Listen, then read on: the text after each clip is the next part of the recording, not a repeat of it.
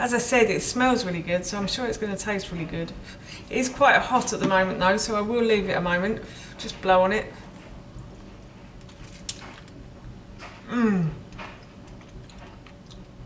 That's really nice. That's delicious. Oh. Oh. You can certainly taste the herbs and it's seasoned so well as well.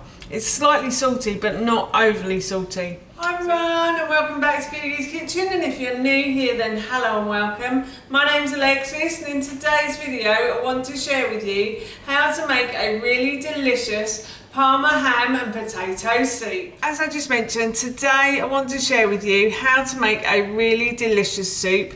This soup is so easy and I think of this soup a bit like a poor man's soup. Um, I had a lot of vegetables left in the fridge that I wanted to use up so I decided to throw them all together and I had a bit of Parma ham as well. You could use bacon for this recipe if you wanted to as well. And I just put them all in the pan together and I fried them up and, and then I added some stock and it the results were delicious. So I thought I'd share the recipe with you today. We are going to be having this one for our dinner. So the first thing I've done is I've grabbed myself a large pan and I'm going to put that onto a high heat on my hob and I'm going to add oil to the base of that pan and I'm going to leave the pan to heat up but before I go, I just want to say that if you have enjoyed this video today and you want to see more, then please don't forget to hit that subscribe button. And if you did really enjoy this video today, then please feel free to give it a big thumbs up. And if you have any questions, then please feel free to leave those in the comments section below.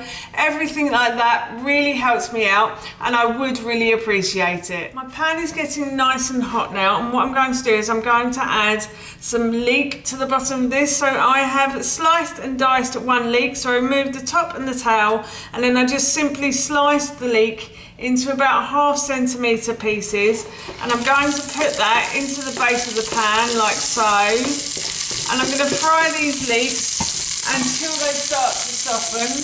It should take around three to five minutes so I'm just going to continue fry the leeks. The leek has started to soften beautifully, so what I'm going to do is I'm going to add in the vegetables. So here I have one car carrot that I've simply peeled and diced into about one centimetre pieces. And I've also got about 200 grams of butternut squash that I've also peeled and diced into about one centimetre pieces. And I'm just going to pop these into the base of the pan. Now if you need to, you will need to remove the seeds from the butternut squash when you open it. I just used the top part of the butternut squash, so I didn't need, a, there was no need to remove any seeds. So I'm just going to pop these into the base of my pan. And I'm just going to fry these probably for about five minutes they may not soften.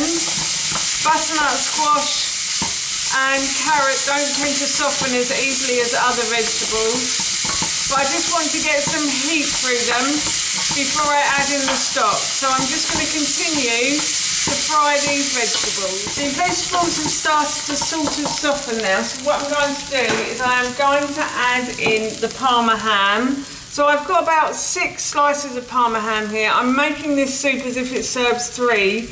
I've used the same quantity of vegetables just because I love vegetables.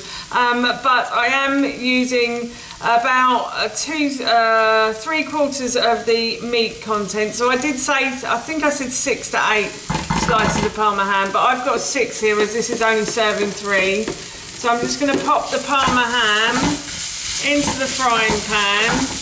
I'm just going to fry this now with all of the vegetables in the bottom of the pan until it sort of turns a pink, a dark pink colour basically.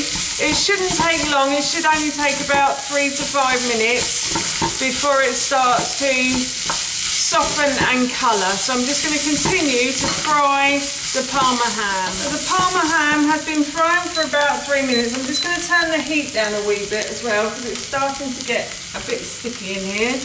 And now what I'm going to do is I'm going to add about a litre of chicken stock to the base of the pan, like so. And then to that, I'm going to add a couple of tablespoons of tamari. Tamari is just soya sauce. It's just fermented for a bit longer than soya sauce. So it actually makes it gluten-free.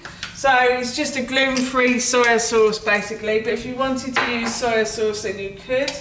And then to that I'm going to add a teaspoon of uh, Italian herbs, dried mixed herbs basically.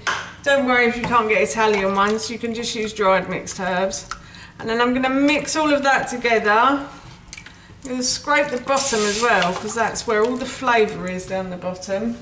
And then I'm going to turn the heat back up and I'm going to add in my potatoes at this point as well. So I'm just going to add the potatoes to the base of the pan and I'm going to bring this to the boil and then I'm going to let it simmer and leave it to boil like you would normal potatoes basically. So as I said, I'm just going to pop the lid on and bring this to the boil. The pan has started to come to the boil so I'm just going to turn the heat down and I'm going to remove the lid and I'm just going to add a little bit of salt and a little bit of pepper to this as well. So salt and pepper to your taste. So as I said, I'm just going to leave this to simmer now until the potatoes are soft. It should take about 10 to 15 minutes, I'd say. So what you want is the, for the potatoes to fall from the fork, and then you know that that's the potatoes cooked and done then. And then all I'll have to do after that is just throw in some green beans, and that will be it. So I'm just going to leave this to cook for a little while now. The potatoes have been boiling away for a good 10 I'd say and I just wanted to check them. So I put them on a fork and as you can see they are forkful. One just basically broke up in my in the fork. So these potatoes are done as you can see and all I'm going to do now is add some green beans to this. And again I'm going to bring the green beans to the boil and then I'm going to leave them to simmer for a good three minutes and then basically that is our soup done. A one pan soup, delicious and tasty. I will try it and let you know how it tastes though as well. But it smells so good. As I always say in these videos, this smells really good. So I'm really looking forward to this for my dinner this evening. This pan has started to come to the boil so I'm just going to turn the heat down again, leave it to simmer for about three minutes now and then I will serve some and let you know how it tastes. As I mentioned earlier, I thought I would just share with you how it tastes as well. So I'm going to grab a little bit of the potato and a little bit of the broth and some of the uh, parma ham as well. As I said, it smells really good, so I'm sure it's going to taste really good. It is quite hot at the moment though, so I will leave it a moment. Just blow on it. Mmm. That's really nice. That's delicious. Oh. Oh. You can certainly taste the herbs and it's seasoned so well as well. It's slightly salty but not overly salty. So yes, as I said, I'm really looking forward to this for my dinner this evening. That's how you make my delicious Parma ham and potato soup and that recipe I will link in the description box below for you. As I mentioned earlier, we're going to be having this for our dinner this evening and it smells and tastes so good, I can't wait. So for now, that's it from me. Thank you so much for watching. Please feel free to give me a big thumbs up if you enjoyed this video and please feel free to leave any comments below and please don't forget to hit that subscribe button. See you all soon. Bye.